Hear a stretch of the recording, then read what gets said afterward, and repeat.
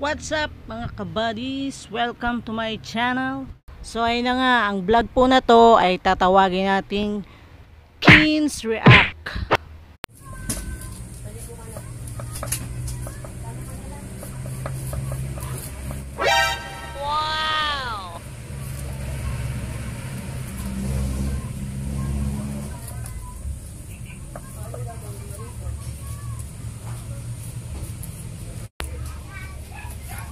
Buddies!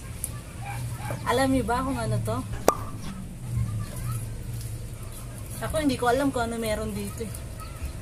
Paano masabi? Tinatanong ko nga eh.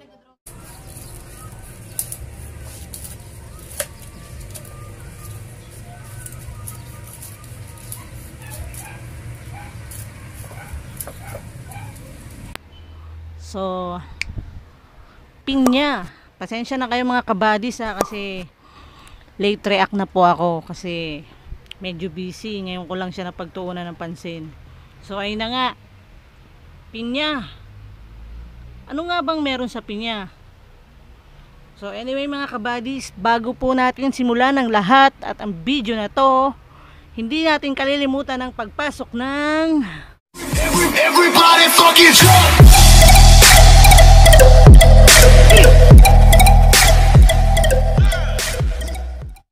So, ayun na nga mga kabadis. Kasama ko si partner. Pakilala ka naman. Hi, I'm Wai. So, ayun na nga mga kabadis. Yung ayon sa mga nakaraang months, I heard na nag-viral po kasi yung pinya. Nag-trending po ang pinya. Medyo late lang po kami. Oh yeah, correct. So, nagtataka ko, ano nga bang meron sa pinya?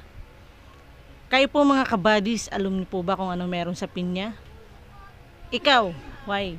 Ako, alam ko ang pinya ay vitamin C.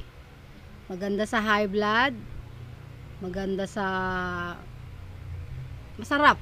Maasim. Masarap ang pinya. Pero hindi sa kumunoy. Yun lang yun ha, masarap yun. So mga kabadis, dahil busy nga ako, naririnig ko sa labas, ng mga nakakasalamuha ko sa mga kabadis ko rin na tinatanong ako, alam mo yung pinya? Oo, ang pinya ay may mata. So tanong ko, bakit? Ano bang meron sa pinya? O di ba? So actually mga kabadis, ah hindi naman talaga ako nakapanood ng video ng pinya. But dahil na curious nga ako, eto ginawa ko ng konting react. Ah meron ako napanood, ah, bali yun na yung nakat na siya nung pin- binan na siya sa social media. I think wala na siya sa YouTube. Si bawal na siya panoorin talaga. Oh. Meron siya mga segundo na lang. Tsaka sa Facebook. Pero hindi na namin nilagyan ng ano ng video dito kasi yun na nga bawal na nga siya. So okay na siguro sa picture. Pero ang sabi ng iba, sa Twitter daw mapapanood pa siya. Pero wag niyo na lang din balakin. So ayun na nga po mga kabadis. Titikman na natin ang pinya. Ito, ayun. Siguro So, konti lang. Kasi Ayon kasi sa napanood ko mga kabadis, yung ko video ng pinya mga kabadis, ang hard niya, grabe. Mm. Masarap, Sarap ng pinya. masarap naman ang pinya. Ang hard niya, grabe ah. Kanina na binabalatan namin ah, niya. Sabi ko, ang asim kasi hindi siya madilo. Um, sarap pala. Hindi siya maasim, matamis-tamis. Mm. Yung iba, nandidi rin na kumain ng pinya kasi daw. Dahil sa ginawa ni ate girl. Ayun nga, yung reaction ko dun sa ginawa ni ate girl, tungkol sa paggamit niya ng pinya, is so kadiri, you know. Kadiri kasi, mga kabadis, para sa akin ah, ang pinya, pagkain yan eh, hindi para ilagay mo kung saan kumunoy. Diba? Ako nga kung bakit nagustuhan ni ate girl to. Makatas siya oh. Grabe. Hindi talaga ako makapaniwala. Desperada. Mas gutom yung ano niya kaysa sa bibig niya. Oh, masarap siya kasi oh. Makatas oh. Tumutulo yung katas niya oh. Yan ang. Mga kabadis. Given na makatas talaga yung pinya. Ayan, ayan na nga oh. Pinya, ayan oh. Kaso, isipin nyo na lang ha, ilalagay nyo siya sa let's say sa pempem niya oh, nilagay niya nga yan eh, no, diba? Tinabasan niya yung gilid-gilid, my gosh. E paano kung naputol yun, diba mga kabadis? Kain tayo badis ng pinya. Wag na kayong mandiri, masarap. Tsaka parang ano, Kalimutan nyo na si ate girl. Masarap. ang tingin ko eh, wala siyang respeto sa sarili niya. Ano pa nga ba? Hindi siya matino. Hmm. Matino ka ba naman tao? Kung minsan nga, kung tutuusin ito, may time na pag kinain mo tong pinya, hindi lang siya basta maasim, makati-kati pa. Ilalagay mo pa sa kamunoy mo. My God. Sarap. Grabe Pero- mga kabadis. Teka lang, Badis. Parang may isa pa akong narinig. Napanood ko lang din to. Meron din daw sumubok ng buko. Mas malupit yata yung buko. At least Paano ito, yun? At least ito may katas.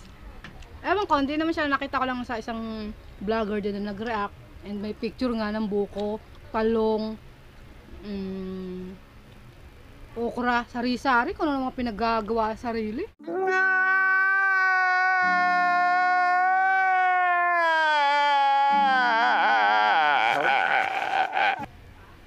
Isipin yung mga kabadis ha. Come to think of it. Ito yan oh.